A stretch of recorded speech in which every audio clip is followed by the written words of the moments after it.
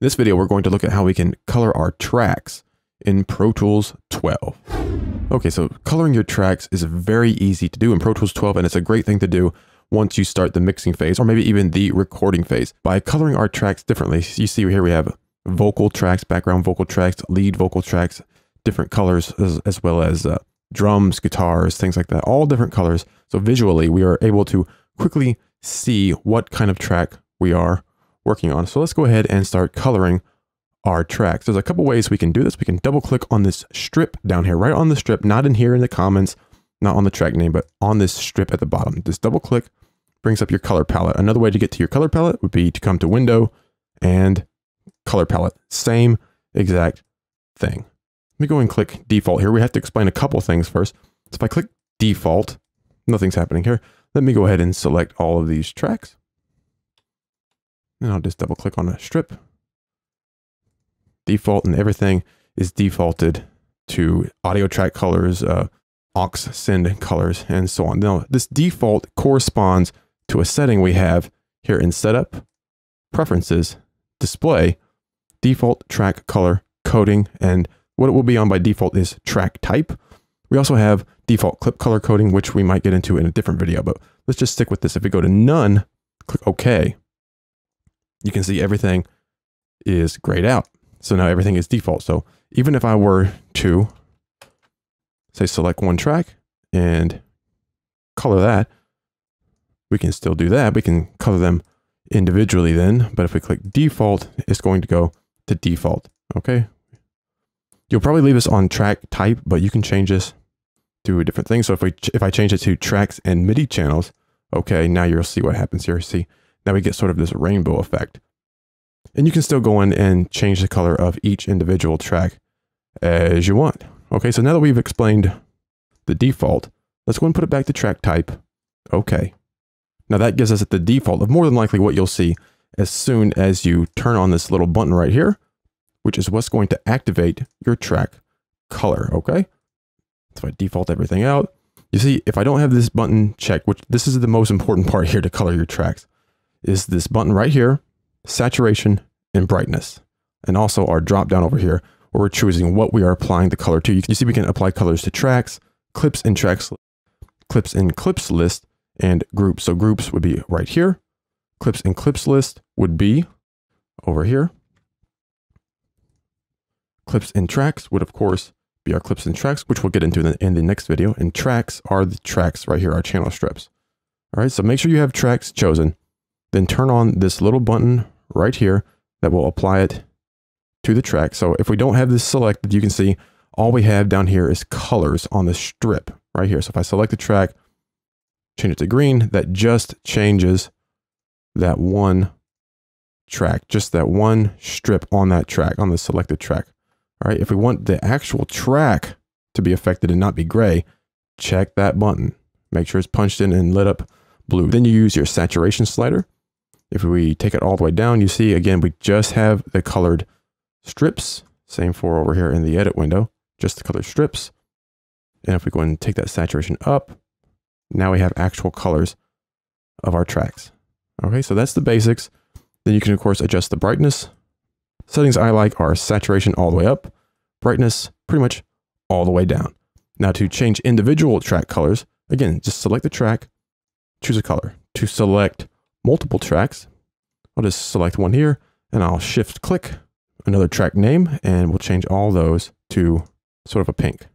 Now, if I adjust the saturation with just these selected, that's going to affect everything. So the saturation, the brightness, and whether or not to apply this to the actual channel or just the strip, all that's global. But the color itself is individual to the selected tracks, okay? So I can change all those selected ones. So this blue color, pretty cool. Now, what if I have this blue color is selected and I have tracks down here. I want that same blue color. Well, I can try to remember it, right?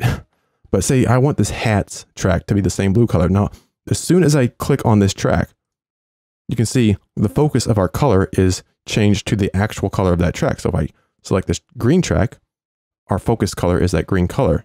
Hmm, well, I want this sort of blue color, but I don't remember which one it was. I can try to click around. Well, there's an easy way around that. So let's just go to one of these tracks that's blue, select it, that color is highlighted. I'll then click the hold button and you can see now that color is in focus. All right. So now if I select say another green track or a drum aux, the color doesn't focus to the actual color of the track. It holds on that color. So now I can simply select that color and that track will be changed. So again, if I if hold is off and I select this guitar aux, which is green, you see the color switches. So now I have to of click around and say, which color was that? Oh, there it is. Okay. One of those. That's that's pretty good. So if you want to color tracks the same color, just use that hold button. So here's a purple track. Okay, hold there. I'll select this track, shift click all those and just click that purple again. And there we go. So that is the basics of coloring your tracks here in Pro Tools. You can see these colors also correspond in our tracks list over there as well. Just make sure you remember those basic things. Let me turn off hold there. Remember those basic things of if we're coloring tracks, make sure tracks is selected. Make sure you have this button turned on. If you don't, then you're just coloring the strips of your selected tracks. So I'll select these tracks here and go to green. So again, that's just the strips. If we turn on the apply to channel button there, it will color the entire channel. All right. Then we have our hold options, our default options, which click default. That will make our audio tracks default to the blue, which is the default, our aux track default to green, so on and so forth. Remember to select the actual track. So just click on the name and all those will turn the color that you select. You can also, of course, select the track. And by the way, I had a lot of tracks selected. Just hold down Alt and click on one of them that will deselect all of them. So I'll select this track, let's come down to say here, and I'll shift click that because these are contiguous. All right. And you can see all the different colors there. Let's change all those to red. All right. Then maybe select this track and I'll shift select this one. Then I'll control select those because they're non-contiguous and change all those to purple. All right. And again, you have the default, which corresponds to our setup preferences and our default track color coding. And of course, we have none. Go to none. Makes them have no color at all, which I could select everything. Go to none. Now there's no colors at all.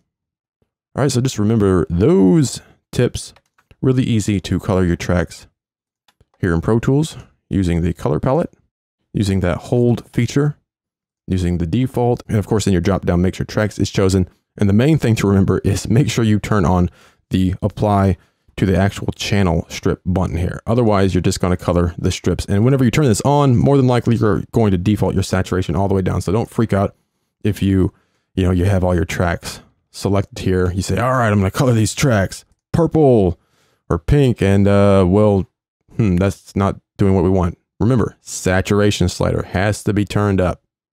There we go. Again, adjust your brightness, default, none, hold. Hopefully you get the idea.